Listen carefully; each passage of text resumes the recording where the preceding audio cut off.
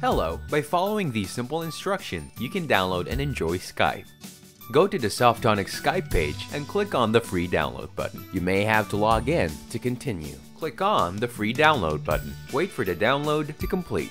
Once download is completed, click the Open button on the downloaded Skype setup.exe file to start the installation. A pop-up window will appear. Choose the language you wish to use for the app. You may click on Microsoft's Term of Use to view Microsoft Services Agreement. Click on the I agree next button to continue. You may choose to make Bing your search engine and MSN as your homepage by ticking the check boxes. Click continue to proceed. A progress bar will appear up until the installation is complete. A pop-up window will ask you to sign in with a Skype or Microsoft account. Another pop-up window for Skype Update will appear. You may choose to install Skype's latest version by clicking the Install Now button. Click on the Install button to continue. A progress bar will appear until the installation is complete. Your program will automatically start. Enjoy your app. Should you have any doubt, do not hesitate to contact us on our support site or report the issue through our report software form. Thank you.